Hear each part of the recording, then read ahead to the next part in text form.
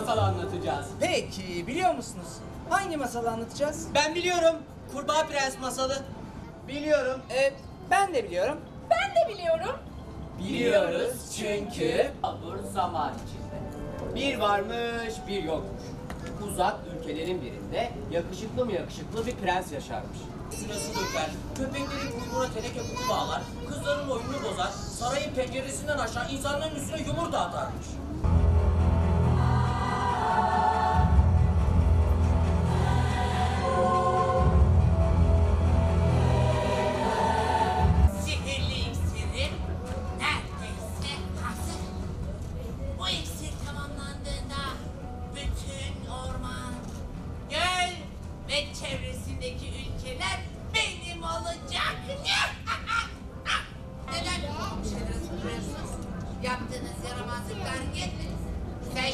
Yaramazlığı falan büyücü.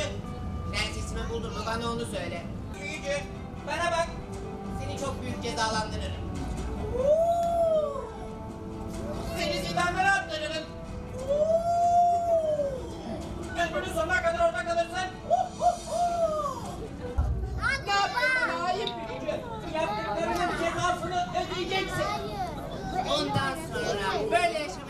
İyi olur ufaklık. Benimle uğraşın. Kala tavırlarla dalga geçmek ne demekmiş? Cezasını anlarsın.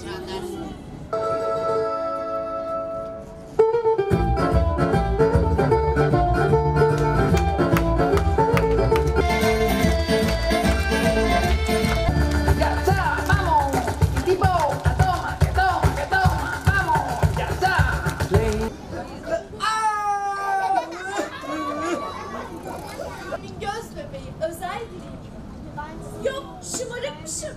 Yok kibirliymişim.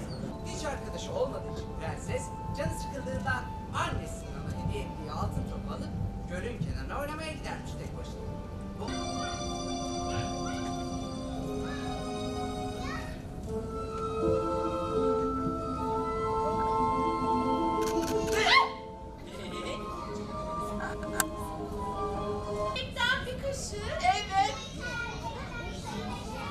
İçtiğim şerbetten bir yudum. Evet. Yatağım bir yudum da seninle paylaşacağım. İşte altın topun prenses. Sersem kurbağa. Altın topun getirdi ya onunla arkadaşlık edeceğimi sandı. Onu kandırdığımı anladım.